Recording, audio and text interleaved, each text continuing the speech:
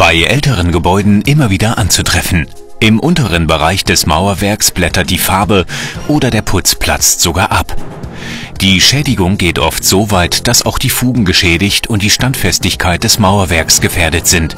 Diese typischen Schadensbilder haben alle eine Ursache, aufsteigende Feuchtigkeit. Wie hier in der Grafik dargestellt, fehlt in dem Mauerwerk die Horizontalsperre. Die Feuchtigkeit zieht von unten kommend wie in einem Schwamm in der Wand hoch. Sie transportiert dabei Mineralien, darunter auch schädliche Salze in die Wand und an die Oberfläche. In den Bereichen der Wand, wo die Feuchtigkeit verdunstet, zeigen sich die Schäden. Die Salze kristallisieren an der Oberfläche und zerstören dort den Putz und das Mauerwerk. Die Folgen sind abplatzender Putz, Zerstörung der Mörtelfugen, reduzierte Wärmedämmung und Schädigung der Bausubstanz.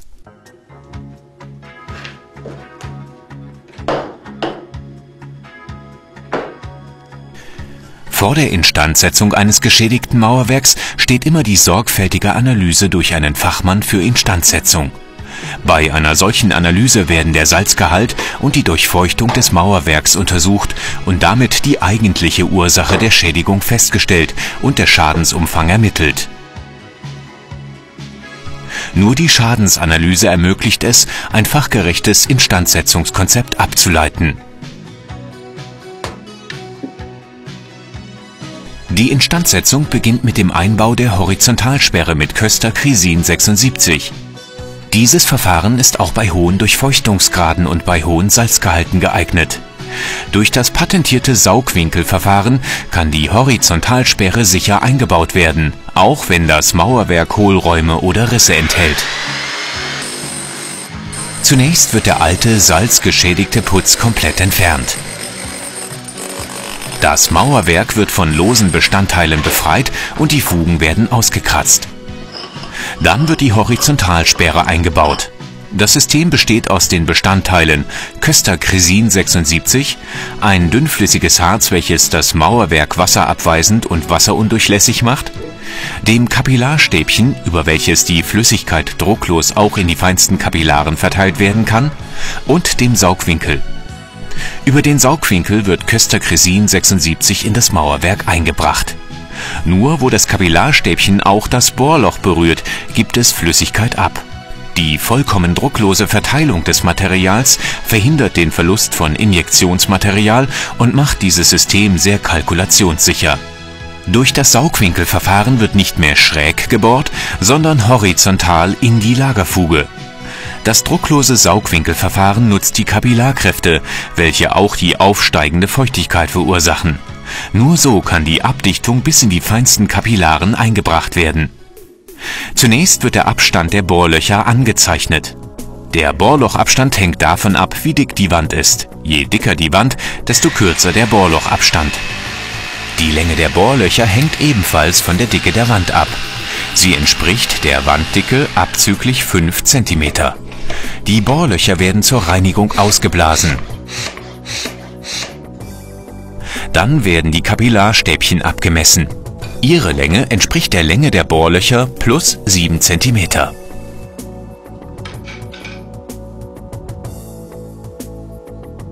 Die Kapillarstäbchen werden zusammen mit dem Saugwinkel eingesetzt.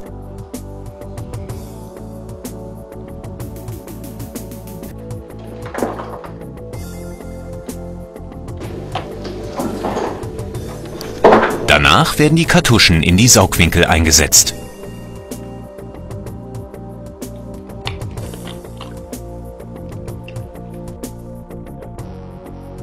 Köster Kresin 76 lässt sich nicht mit Wasser mischen, also wird es auch in hochdurchfeuchtetem Mauerwerk nicht verdünnt. Köster Kresin 76 ist keine Emulsion und verklumpt daher nicht bei hoher Salzkonzentration im Mauerwerk. Außerdem ist es dünnflüssiger als Wasser, was die Verteilung bis in die kleinsten Kapillaren ermöglicht. Nach durchschnittlich 24 bis 48 Stunden sind die Kartuschen geleert. Köster Kresin 76 hat sich nun im Mauerwerk verteilt und die Horizontalsperre ist erfolgreich installiert. Damit beginnt das Mauerwerk schon auszutrocknen.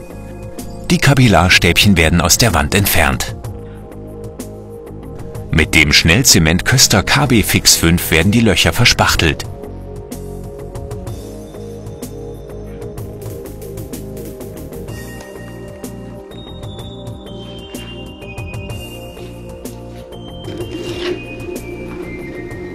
Köster Kresin 76 ist unabhängig vom Salz- und Feuchtegehalt einsetzbar, nicht wasserlöslich und unverrottbar. Das Köster-Saugwinkelverfahren ist einfach und unkompliziert einzubauen, verteilt das Injektionsmaterial aufgrund seiner drucklosen Arbeitsweise gleichmäßig und ohne Verluste in Hohlräume oder Fehlstellen. Das Mauerwerk wird am unteren Sockel mit Köster Polysil TG 500 verfestigt und vorhandene Salze werden in der Wand gebunden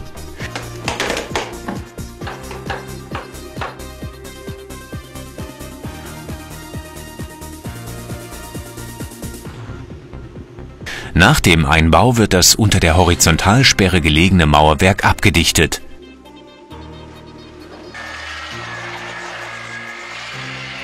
Dazu wird zunächst mit Köster Sperrmörtel eine Hohlkehle ausgebildet.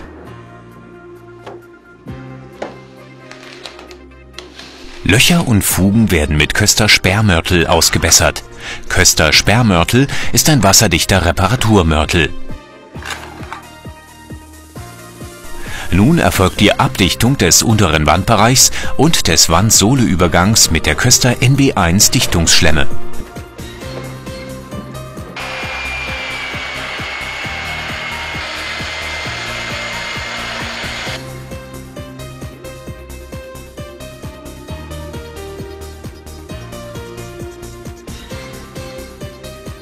Die Horizontalsperre ist jetzt eingebaut und das Mauerwerk gegen rückwärtige Durchfeuchtung abgedichtet.